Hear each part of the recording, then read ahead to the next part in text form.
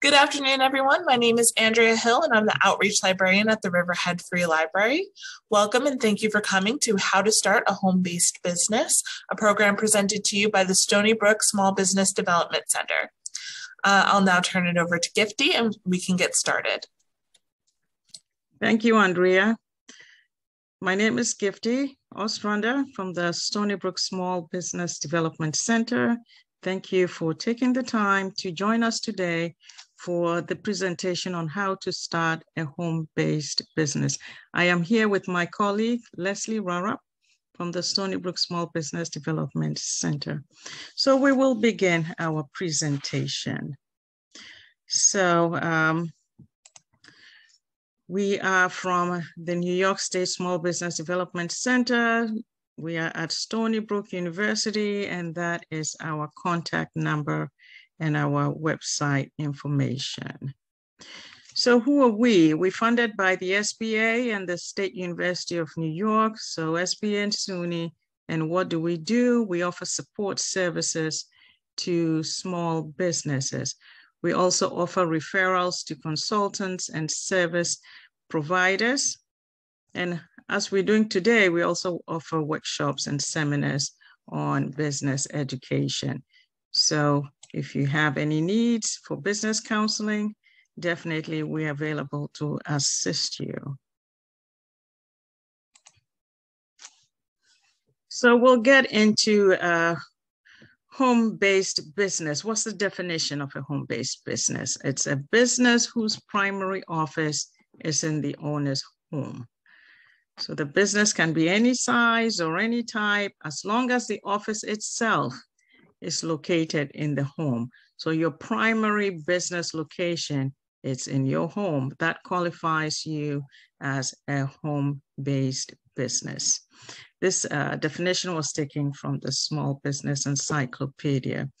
Now it says 50% of US businesses are considered home-based.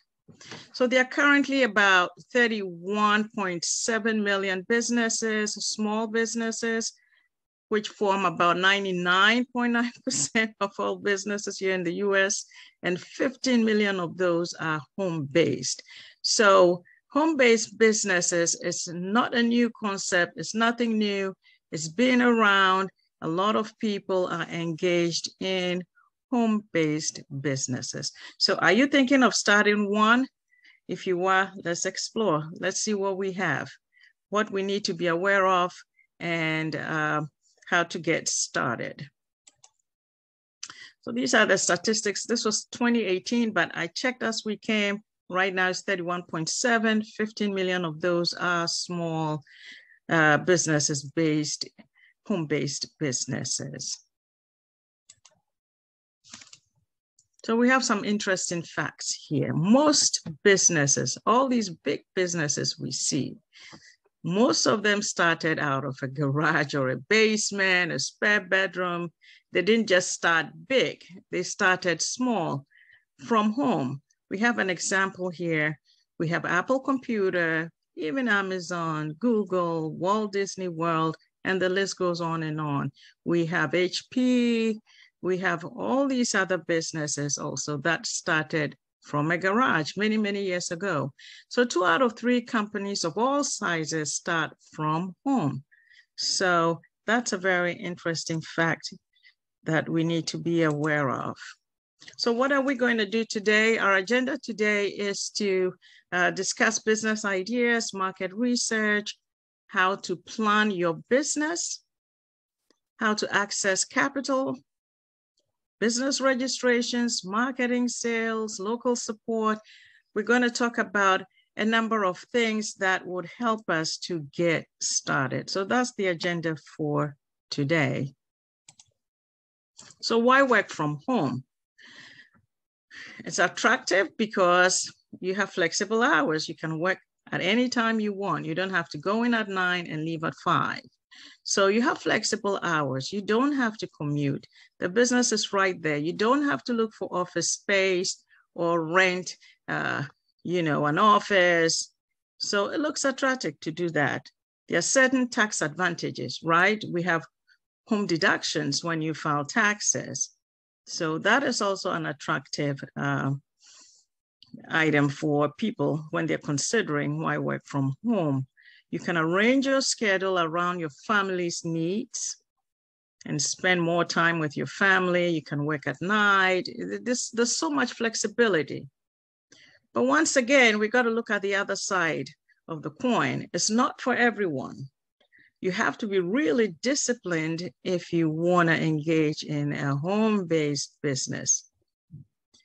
Some people are used to being around people. So there's this feeling of isolation and lack of contact with people. And uh, it's, for some people, it's a problem because they, they want to be around people. Also, there could be increased family stress, right? It's hard to separate home life from business life. For some people, that is an issue. You have to minimize distractions. You have to be able to, you know, dedicate a certain number of hours doing the business. So it requires self discipline. You have to be able to plan and manage your time effectively.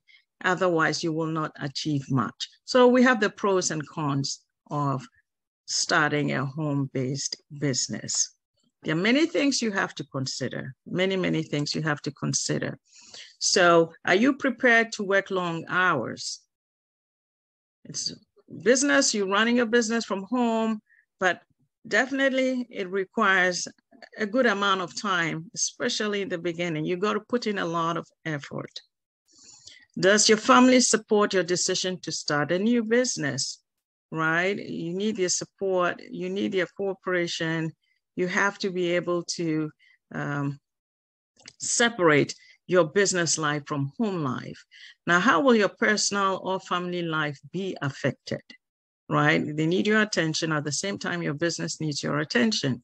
So you have to be able to balance the two. Do you have any kind of formal uh, business training, right? What is your background?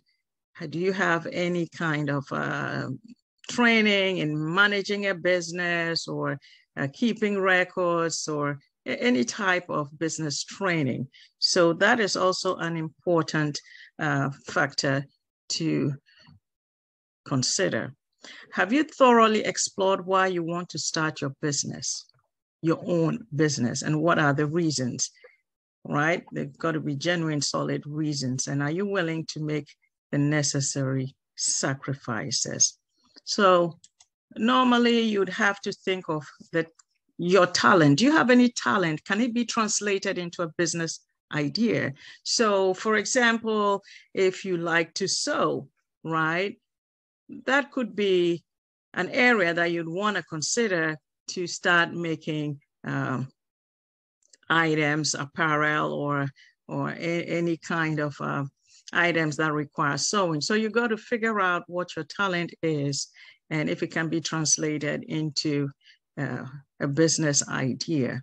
We have some business ideas here but it's mu- there is much, much more uh, there. But these are some of the common uh, business ideas that people uh, have engaged in when starting their small business from home. So freelance is number one. You can freelance anything, right? Tax advisors, tax preparers, bookkeeping, accounting, just writing. A lot of people do writing for people. So that's freelance, blogging, graphic designers, translation services.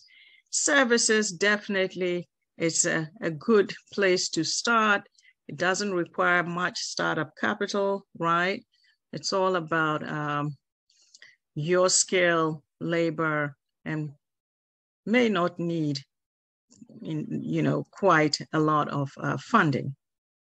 You also have to evaluate creative skills and monetize. So, like I said, if you're good with arts and crafts, maybe that's something you should consider. If you're good with selling items online, definitely it's an area that most people, actually, a lot of people have gotten into e commerce right now. So, we also have professional organizers, right? Bridal consultants, travel agents, business coaching, event planners, and the list goes on and on and on. Childcare, babysitting, pet services, personal fitness, editorial services, and a whole lot more. We have landscaping. Virtual assistant is also another area that is sort of gaining momentum right now. We have a lot of inquiries regarding virtual assistants. So we have to think of doing some kind of market research. When we have an idea, we, we, we figured out what we want to do, we definitely need to do some research first. We don't just want to jump into it. We want to make sure that the idea is a feasible one, that it can actually create enough uh, returns for us.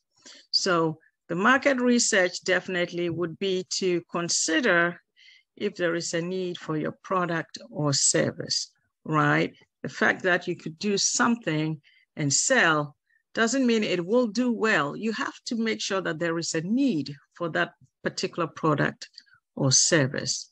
So if you're offering uh, to sell um, your arts and crafts, find out what is needed. Are people into that? Do some market research. What are the market trends? Who is buying? What your target market is? What the competition is like? So there are many things to consider. Who needs it and at what price? Very, very important. What is the market size, right? How will my business fit into the market? Is it very competitive? Why should people come to you?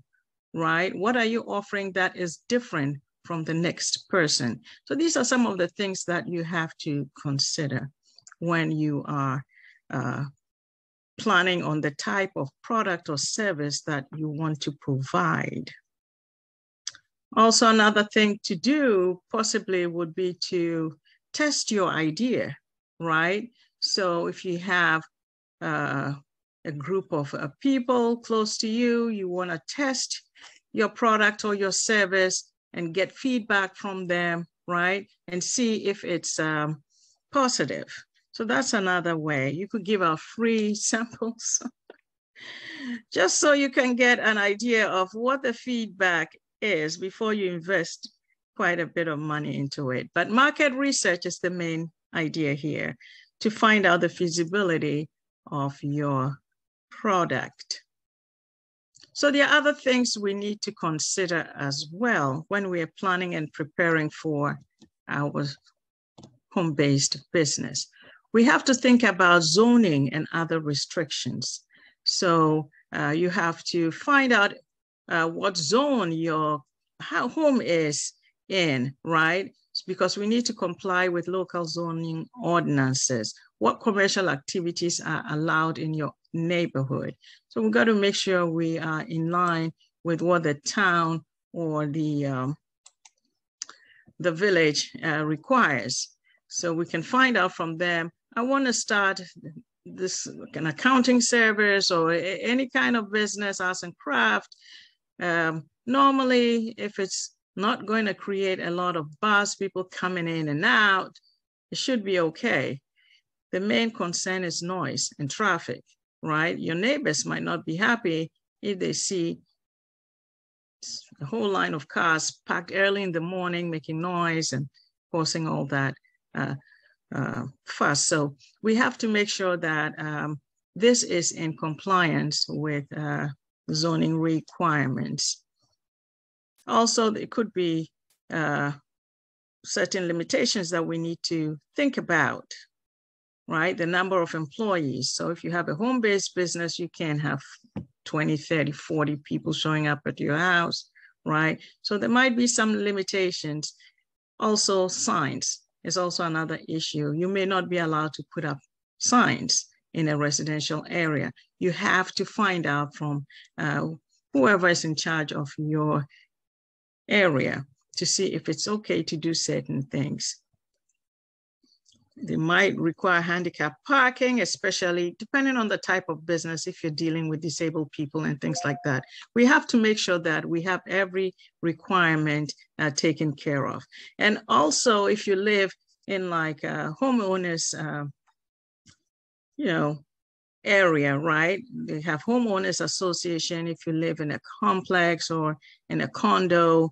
They also have their own uh, CCR, so their covenant codes and restrictions. We have to make sure we comply with those, right? If you're not a standalone home, but you are in uh, a condo or an area which has a homeowners association, you have to make sure we are complying with what uh, they want uh, you to do.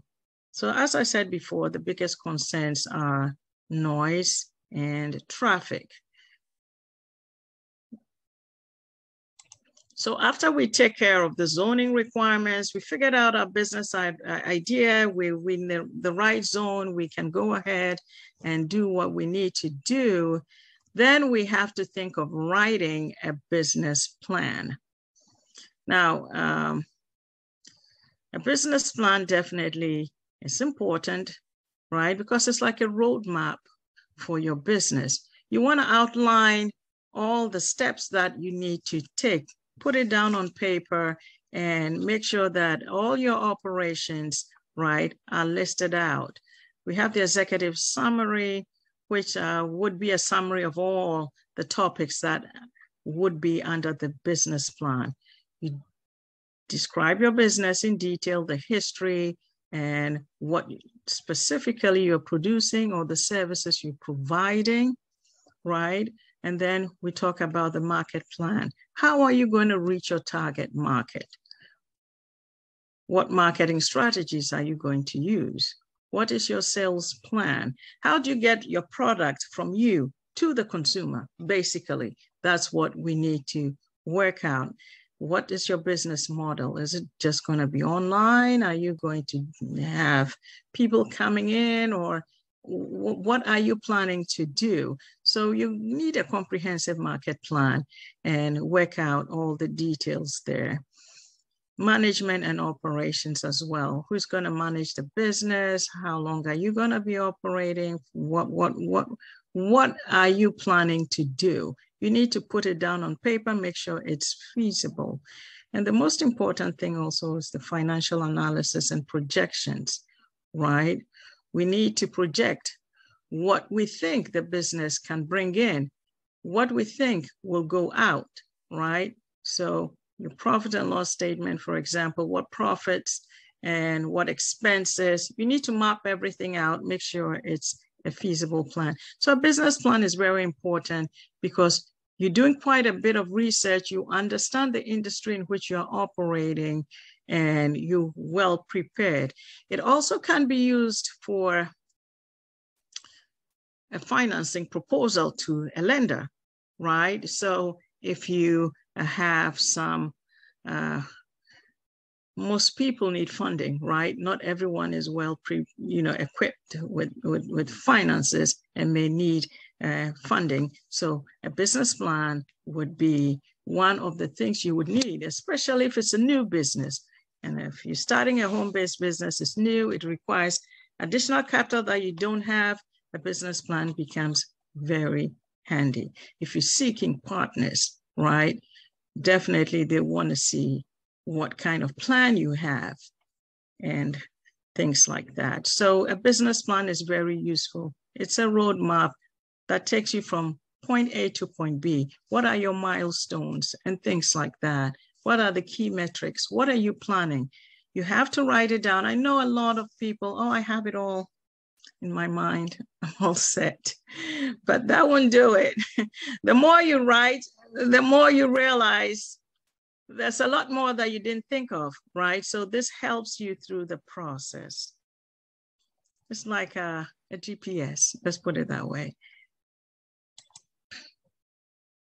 So you have to think of your startup costs.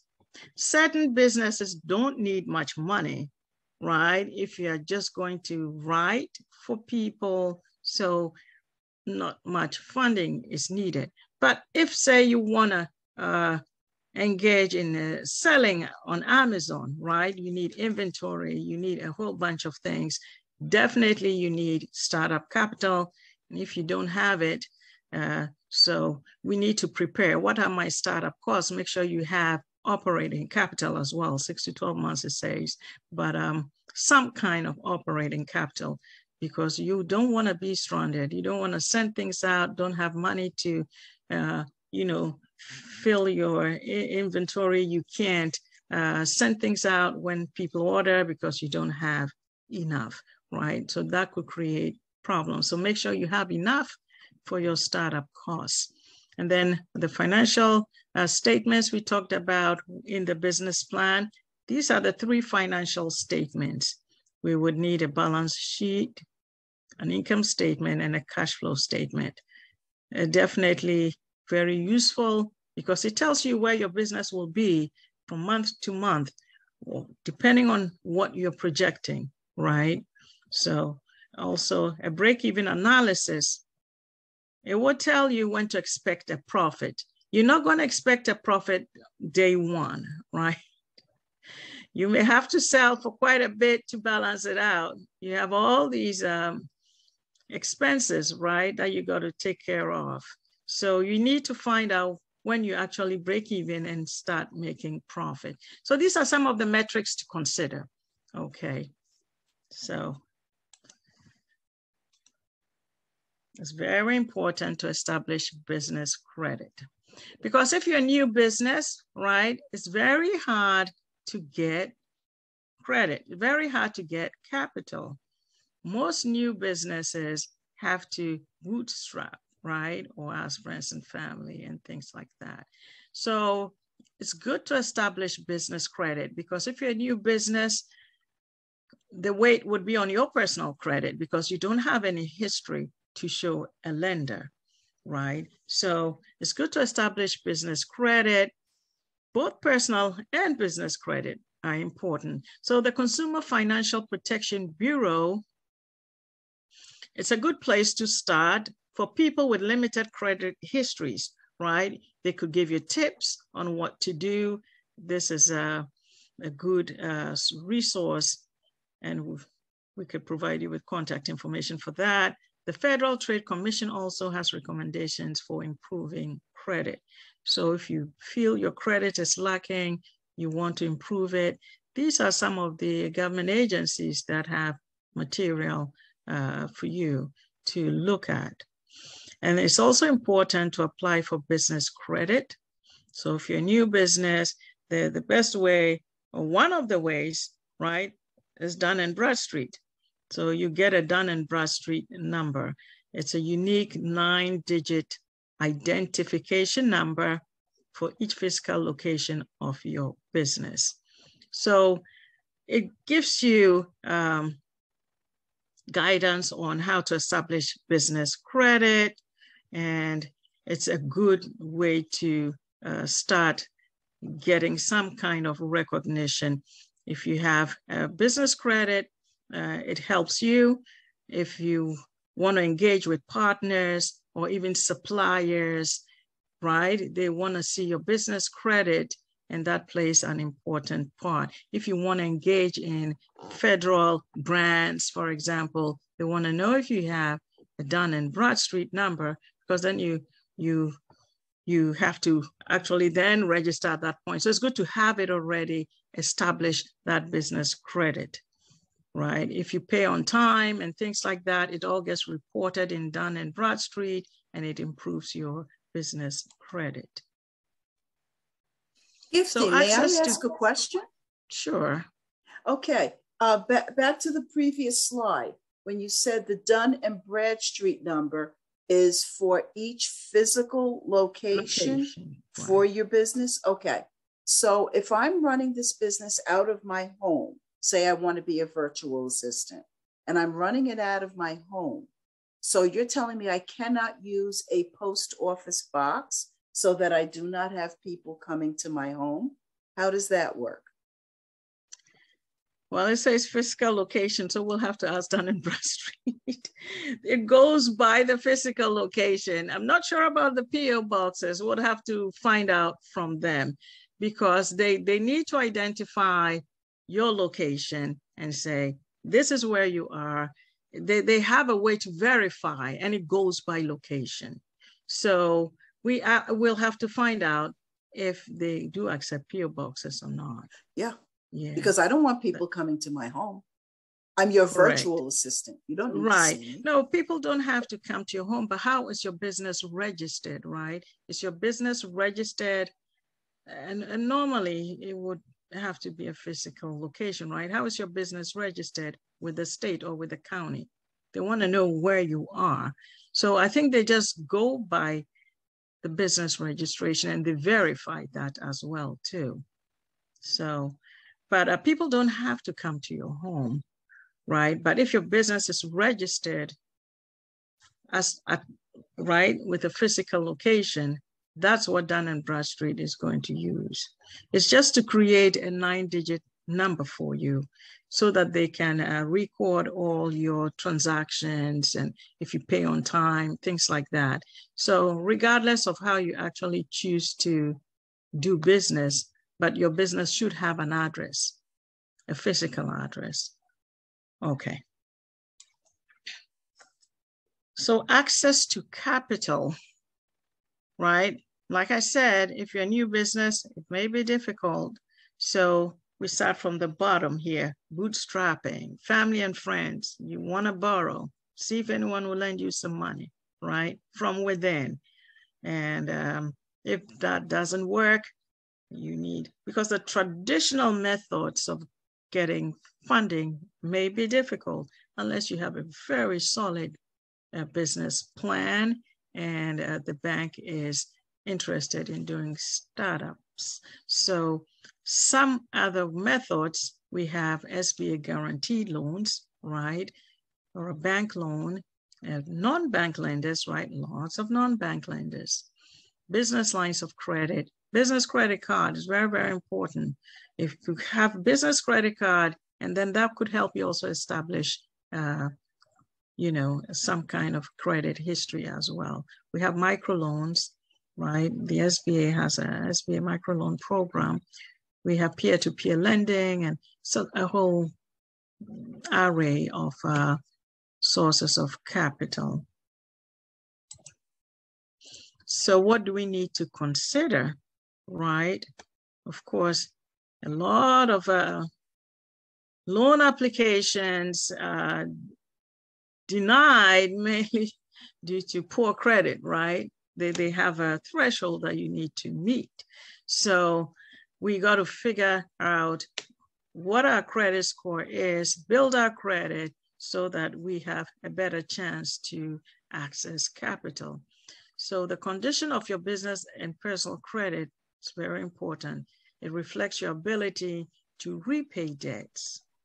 So credit scores can range from 300 to 850. You're to figure out where you stand.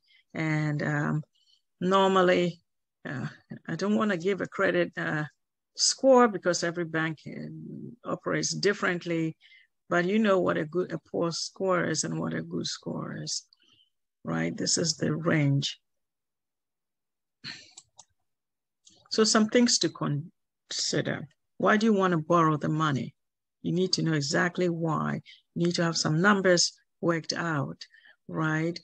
What is the cost of borrowing? So we before we listed all these different forms of uh, capital, peer-to-peer lending and uh, online lenders. What is the cost of borrowing that money, right?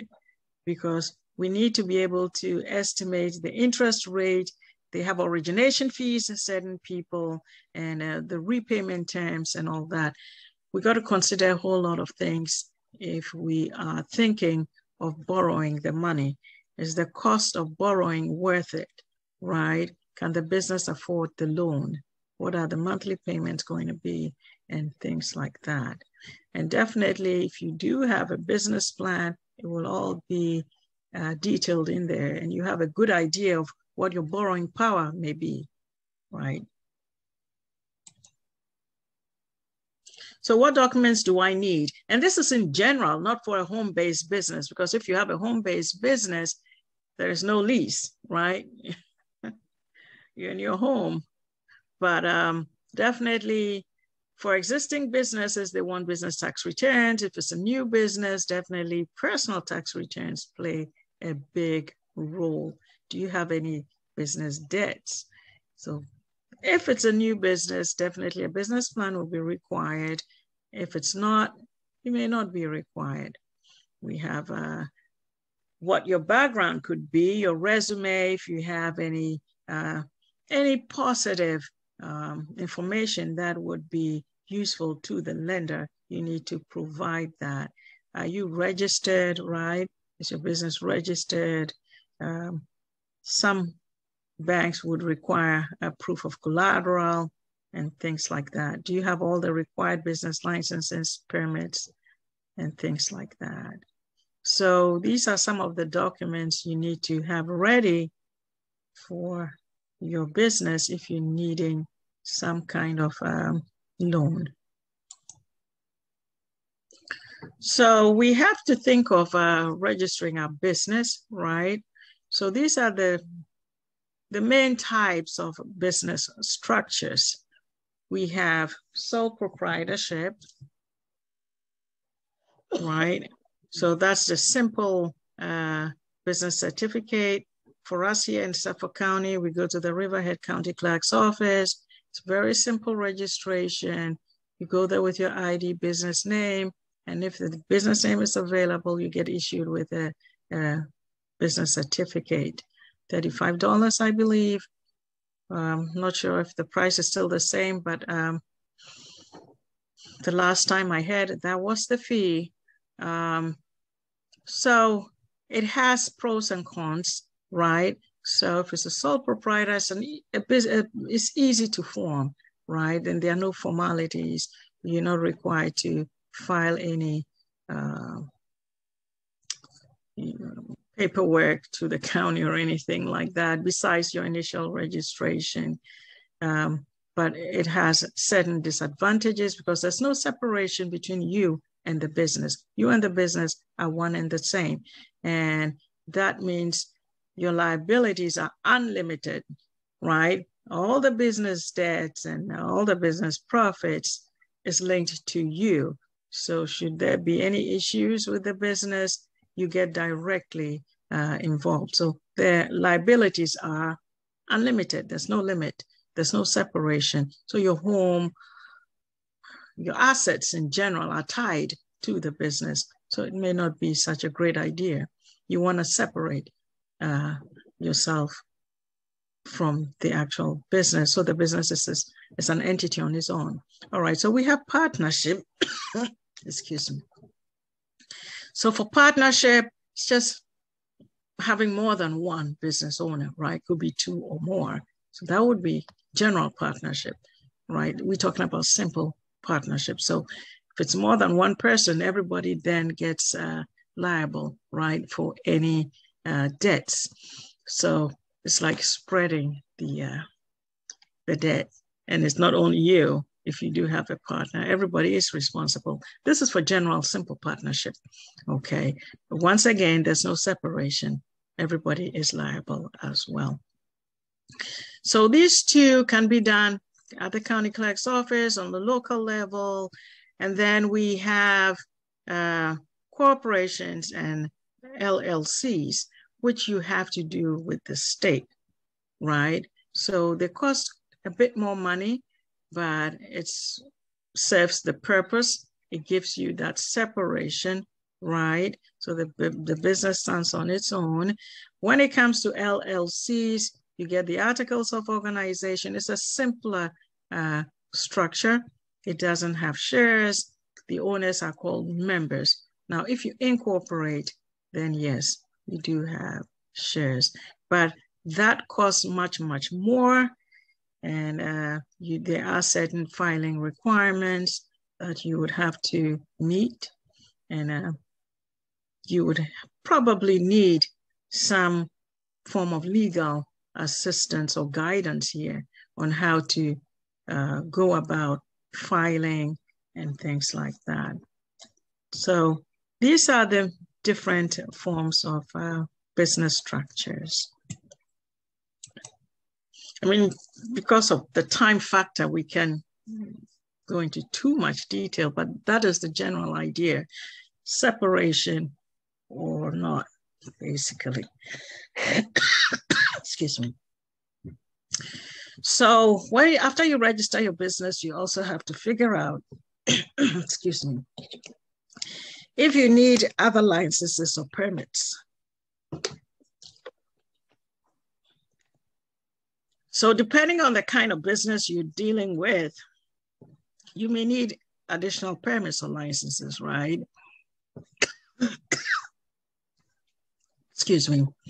We have uh, sales tax authorization. So if you your business that you you know operating requires you to collect sales tax, then you need to be authorized to collect sales tax. So you need to file for a certificate of authorization to collect the sales tax. If you're dealing with the food industry, for example, there's so many permits and things like that that you need to be aware of. And uh, most construction businesses need to have certain permits and things like that. So professional and trade licenses, depending on the kind of business, also may be required. So these are, you have to make sure that you have all your permits in place, even if it's a home-based business. All right, so uh, you get your EIN number, right? Employment identification number, employee identification number.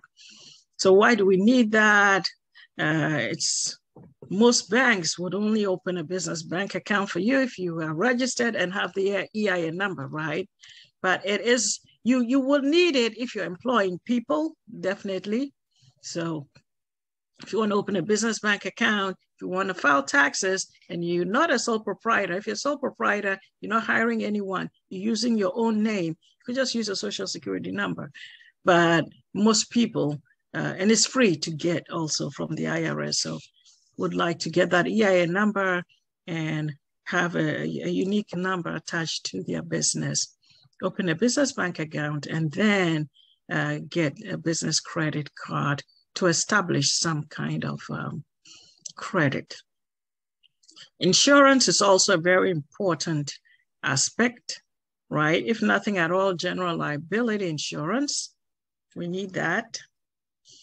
So depending on the type of business, once again, if you have a business where you're storing a lot of inventory, maybe you need to figure out if you need fire or accident or something. Depends on what type of business but definitely general liability professional liability. If you're doing taxes right or bookkeeping or anything like that um, you probably may want to consider professional liability we also have fire accident and theft insurance So if we consider all these things, we're ready to set up our office at our home. You need to, you know, get a dedicated space for your business. Should I stop and ask questions, Leslie? I see there are some. Well, let me see. I don't see any questions. I see oh, comments. Okay. Yes. Perfect. All right. No problem. We'll go on. So set yourself up for success. Find your space in your home. Dedicate a specific area of your home to do this business. Have your furniture, desk, chair, cabinets. Set it up as an office, right? Don't be in the hallway, everybody coming and going, getting distracted, distracted, and things like that. If you can find a specific spot, even if it's a dedicated area. It doesn't have to be a specific room, but a dedicated spot, as long as you have that area to set up. Obviously, get connected. We need a computer or a laptop in this day and age. You can't do anything without having internet. Have a dedicated voicemail, right, for the business. Make sure you have a line for the business and it's answered professionally printer, fax, scan, copy, printing.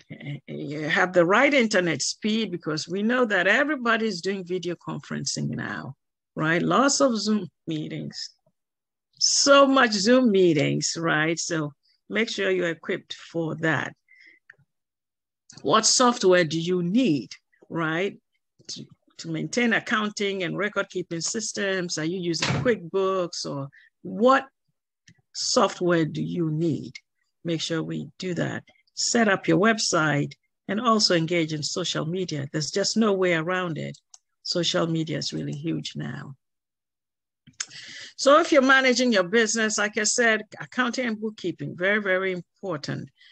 You want to have a separate bank account.